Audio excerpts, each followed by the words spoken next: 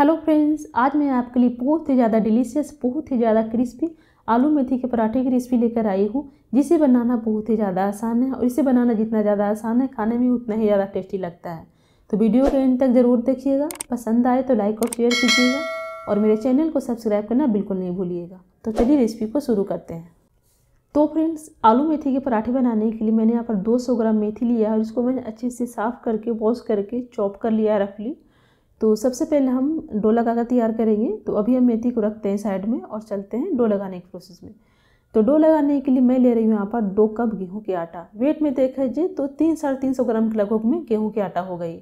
इसमें हम ऐड कर देंगे नमक स्वाद अनुसार। इसके साथ ही हम इसमें ऐड कर देंगे एक चौथाई छोटी चम्मच अजवाइन और एक चौथाई छोटी चम्मच कलौजी। इसके बाद मैं इसमें डाल रही हूँ एक चम्मच के लगभग में घी। आप घी की जगह पर बटर का इस्तेमाल कर सकते हैं फिर ऑयल का इस्तेमाल कर सकते हैं। अब हम सभी चीज़ों को अच्छे से मिक्स कर देंगे। और ये लीजिए, मैंने आटे और घी को अच्छे से मिक्स कर दिया है। अब हम इसमें मेथी डाल देंगे। तो मेथी हमें पूरा नहीं डालना है। मैंने यहाँ पर 200 ग्राम के लगभग मेथी का इस्तेमाल किया है। तो फिर मैं 50 ग्राम के लगभग मेथी डाल रही हूँ। तो 50 ग्राम मेथी डाल दिया मैंने। और इसके बाद हम मेथी को आटे के साथ अच्छे से मिक्स कर देंगे। इसके बाद हम इसमें थोड़ा थोड़ा करके पानी डालेंगे और इसका हम सॉफ्ट सा लोला कर तैयार कर लेंगे। तो इसका डो में बहुत ज़्यादा सॉफ्ट नहीं लगाना है। जैसे हम रोटी के लिए डो लगाते हैं, बिल्कुल उसी तरीके से डो लगाना है तो थोड़ा थोड़ा करके पानी ऐड कीजिए और सॉफ्ट सा डो लगा कर तैयार कर लीजिए। और ये लीजिए, मैंने पराठे के लिए डो लगा कर तैयार कर लिया है और ये ना तो बहुत ज़्यादा हार्ड है, नहीं, बहुत ज़्यादा सॉफ्ट है। जिसे हम रोटी के लिए डो लगाते हैं, बिल्कुल उसी तरह है। तो हम इसमें आधा छोटी चम्मच के लगभग में तेल डाल देंगे और डो को अच्छे से चिकना कर देंगे। इसके बाद हम इसको 10 मिनट के लिए ढक कर रखेंगे रेस्ट पे। इतने में हम पराठा के लिए स्टफिंग बनाकर तैयार कर लेते हैं। तो इसको अभी हम ढककर साइड में रखते हैं और चलते हैं स्टफिंग बनाने के प्रोसेस में। तो स्टफिंग बनाने के लिए मैंने यहाँ पर पैन लिया। इसमें हम दो चम्मच के लगभग में तेल डाल देंगे और तेल जब अच्छे से गर्म हो जाए, इसके बाद हम इसमें ऐड कर देंगे एक मीडियम साइज़ का प्याज, जिसे मैंने बिल्कुल बारीक चॉप कर लिया चॉपर में और इसको हमें हल्का सा सॉफ्ट कर लेना है। और इसी साथ ही हम इसमें ऐड कर देंगे दो तीन कटी हुई हरी मिर्ची, जिसे मैंने बिल्कुल बारीक चॉप कर लिया है और एक चम्मच बारीक चॉप किया हुआ अदरक और लहसुन। आप यहाँ पर अदरक लहसुन का पेस्ट इस्तेमाल कर सकते हैं, लेकिन चॉप करके डालिएगा तो बहुत ही अच्छा स्वाद आएगा। और अब हमें सभी चीज़ों को अच्छे से फ्राई कर लेना है। फ्लेम को आप यहाँ पे मीडियम रखिएगा। और ये लीजिए, मैंने सभी चीज़ों को फ्राई कर लिया। आप देख सकते हैं प्याज का कलर चेंज हो गया है, अदरक और लहसुन का कच्चापन भी खत्म हो गया है। तो हम इसमें ऐड कर देंगे मेथी, जो हमने पहले से वॉश करके और कट करके रखा है। तो सारा मेथी डालने के बाद मेथी को हम करीब तीन से चार मिनट तक अच्छे से फ्राई कर लेंगे। फ्लेम को आपको लो टू मीडियम रखना है। और मेथी को बीच बीच में चलाते हुए लगातार चलाने की ज़रूरत नहीं है। अच्छे से फ्राई कर लीजिए। और ये लीजिए, मेथी को पकाते हुए करीब तीन से चार मिनट हो गए हैं। मेथी हमारी अच्छे से कुक हो गई है। मेथी को फ्राई करके डालने से पराठे बिल्कुल भी कड़वे नहीं बनते हैं, बहुत ही ज़्यादा स्वादिष्ट पराठे बनकर तैयार होते हैं। तो अब हम गैस को ऑफ़ कर देंगे और चलते हैं नेक्स्ट प्रोसेस में। तो मैंने यहाँ पर 200 ग्राम आलू को उबाल कर उसको ग्रेट करके लिया है। आप चाहे तो आलू को मैश करके ले सकते हैं। आलू में हम ये मेथी डाल देंगे फ्राई किया हुआ, जो भी हमने फ्राई किया है। इसके साथ ही हम इसमें ऐड कर देंगे कुछ मसालों। तो मसालों मैंने लिया एक छोटी चम्मच धनिया का पाउडर।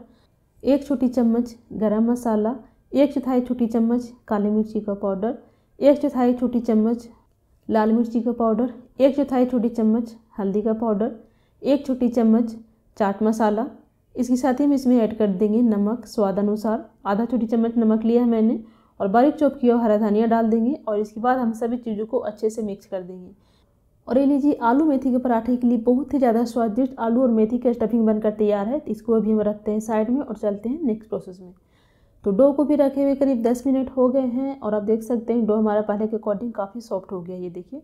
तो हम इसको एक दो बार करके अच्छे से मिला लेंगे और इसके बाद हम इसमें से लोई तोड़ लेंगे। तो जिस भी साइज़ के आपको पराठे बनाने हैं, उस साइज़ की लोई को तोड़ लीजिए। इसके बाद उसको अपने हाथों से अच्छे से सीखना कर लीजिए और इसके बाद उसको हल्का सा फ़्लाइट कर दीजिए इस तरीके से। और इसको हम सूखे आटे में डस्ट करके बेलेंगे। और इसके बाद हम इसे हल्की सी मोटी सी चपाती बेलकर तैयार कर लेंगे। बहुत ज़्यादा पतला नहीं करना हमें, क्योंकि इसमें स्टफिंग भरना है तो हल्की सी मोटी रखेंगे। और ये लीजिए, मैंने इसकी चपाती बेलकर तैयार कर लिया है। अब हम इसके सेंटर में एक से डेढ़ चम्मच के लगभग स्टफिंग रखेंगे। आप चाहे तो जैसे आलू के पराठे बनाते हैं, उस तरीके से कटोरी बनाकर उसमें स्टफिंग डाल सकते हैं, लेकिन इस तरीके से बेल कर दिया स्टफिंग डालेंगे तो ज़्यादा स्टफिंग आती है। इसके बाद हम पराठे को इस तरीके से फोल्ड कर देंगे। ये देखिए, ऊपर और नीचे से भी इस तरीके से फोल्ड कर दीजिए। और हल्का सा प्रेस करके इसको दबा दीजिए। ये देखिए, और इसके बाद इसके ऊपर थोड़ा सा सूखा आटा डस्ट कर लेंगे और इसके बाद हम हल्के हाथों से बेलेंगे बहुत ज़्यादा प्रेस करके नहीं बेलना है, क्योंकि इसमें हमने स्टफिंग ज़्यादा डाला है तो हल्के हाथों से प्रेस करना है। और मैंने यहाँ पर चौकोर सेप के पराठे बनाए हैं, आप चाहे तो तिकोना पराठे बना सकते हैं या फिर गोल पराठे बना सकते हैं। और इसको इस तरीके से हल्के हाथों से बेल कर तैयार कर लेना है। और ये लीजिए, मैंने इसको बेल कर तैयार कर लिया है। हल्का सा फट गया है तो कोई बात नहीं, हमने इसमें स्टफिंग ज़्यादा डाला है, पराठे बहुत ही ज़्यादा टेस्टी बनकर तैयार होंगे। अब ये देखिए, मैंने इसको बहुत ज़्यादा पतला नहीं किया है तो हम पराठे को सेकेंगे। तो पराठा को सेकने के लिए मैंने यहाँ पर मीडियम फ्लेम पर पैन गर्म किया है, इसमें हम पराठा डाल देंगे और एक तरफ़ से इसको दो से तीन मिनट तक पकाने के बाद इसको हम पलट देंगे और जैसे हम आलू के पराठे सेकते हैं, उसी तरीके से दोनों तरफ़ उलट पुलट करते हुए अच्छे से सेक लेंगे। और दोनों तरफ़ से जब पराठे अच्छे से सीख जाए, इसके बाद हम इसके ऊपर एक छोटी चम्मच घी या फिर बटर डालेंगे और इसके बाद उलट पुलट करते हुए अच्छे से पराठे को सेक लेंगे। ये देखिए, बहुत ही ज़्यादा क्रिस्पी पराठे बनकर तैयार हुए हैं। आप देख सकते हैं, ये देखिए। और ढेर सारी स्टफिंग के साथ है, बहुत ही ज़्यादा स्वादिष्ट है। आप एक बार ट्राई करके देखिएगा, ये रेसिपी आपको बहुत ज़्यादा पसंद आने वाली है। और बाकी के सारे पराठे हम सेम तरीके से बनाकर तैयार कर लेंगे। और ये लीची बहुत ही ज़्यादा क्रिस्पी बहुत ही ज़्यादा करारे गर्मा गर्म आलू मेथी के पराठे बनकर तैयार है। आपने सिर्फ़ मेथी के या फिर सिर्फ़ आलू के पराठे तो खाए होंगे। एक बार आप आलू मेथी के पराठे ट्राई कीजिए। आप देख सकते हैं कितनी सारी स्टफिंग इसके अंदर है। बहुत ही ज़्यादा स्वादिष्ट पराठे बनकर तैयार हुए हैं। एक बार इसे आप ज़रूर ट्राई कीजिए और इसे ट्राई करने के बाद मुझे कमेंट में ज़रूर बताइएगा आपकी रेसिपी कैसी लगी।